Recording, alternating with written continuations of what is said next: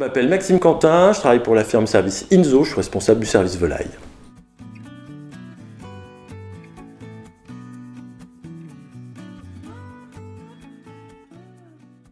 Ben voilà, l'objectif de l'élevage de, précision, c'est donc bien d'amener de l'innovation, de la nouveauté et surtout du retour sur investissement. Hein. Donc l'objectif est de gagner en compétitivité, puisque les filières volailles en ont besoin. Et la nutrition étant le premier levier euh, dans le coût de production, évidemment, on attend de l'élevage de précision qui soit le plus efficace possible.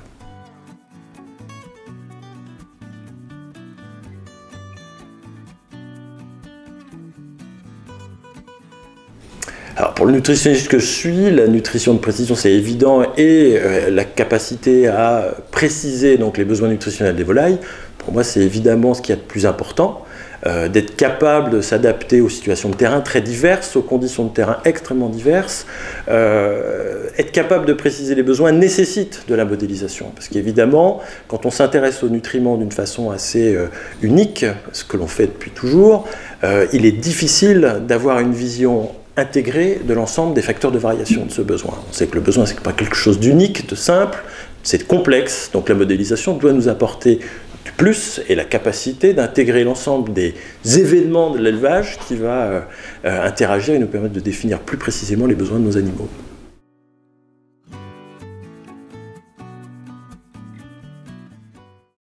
Bah, je pense qu'il est euh, aujourd'hui possible d'aller assez loin dans les outils de modélisation, dans les outils de prévision de la performance ou des besoins. Je pense qu'on peut faire des choses extrêmement précises. Ce qu'il ne faudra surtout pas oublier dans les concepts, euh, bah, c'est le concret du terrain finalement. C'est euh, d'intégrer dans nos réflexions les contraintes des fabricants d'aliments, les contraintes des éleveurs, les contraintes logistiques. La faisabilité, il faut qu'elle soit intégrée dès le départ dans les outils pour que ça reste utilisable facilement et accessible euh, pour tous les acteurs de la filière de production.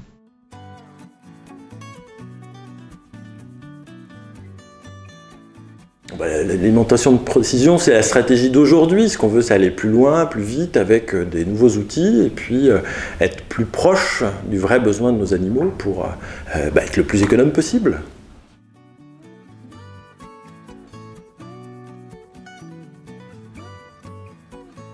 Bah, aujourd'hui, les premiers freins sont des freins techniques, c'est-à-dire qu'on n'a pas encore à disposition des outils suffisamment fiables euh, pour nous apporter un plus. Il faut encore qu'on le démontre, je pense, encore à ce stade de démonstration.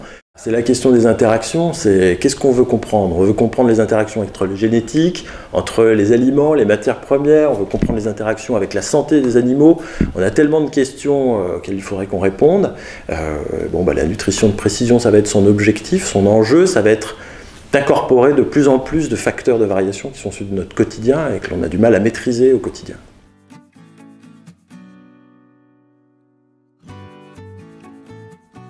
Bah, il faut que tout le monde soit moteur d'un changement de pratique malheureusement parce que s'il faut savoir convaincre des ingénieurs d'aller vers de la précision, ça c'est pas très compliqué. Aller jusqu'à l'élevage, euh, intégrer les fabricants de matériel, intégrer euh, les vétérinaires, intégrer l'ensemble des partenaires de la filière, bah, ça va être une nécessité pour que l'on puisse aller vers cette nutrition de précision euh, que l'on attend sur le terrain. ensuite, il faudra convaincre tous les maillons de la filière de jouer le jeu, fabricants d'aliments, évidemment éleveurs qui vont au quotidien avoir à utiliser ces outils pour être plus précis.